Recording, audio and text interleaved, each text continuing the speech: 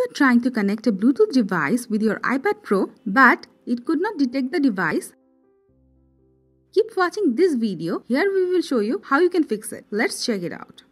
You can do a forced restart to fix this problem. Quickly press volume up button then volume down button.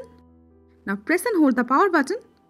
You might see the power slider but don't release the power button until you see the Apple logo. You have to make sure your iPad Pro is running in the latest iPad OS. If it isn't, it could be causing the problem. Open Settings. Tap General. Tap Software Update. Check if you have any updates or it's running in the latest iPad OS.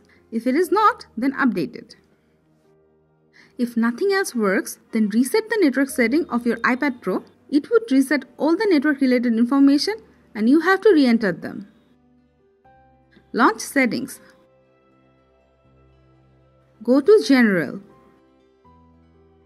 Scroll down and tap Reset. Tap Reset Network Settings. Enter your passcode. Tap Reset. Your iPad will take auto restart and all the network related information will be erased from it. And you have to enter them again. These are the ways you can fix iPad Pro not detecting Bluetooth devices problem.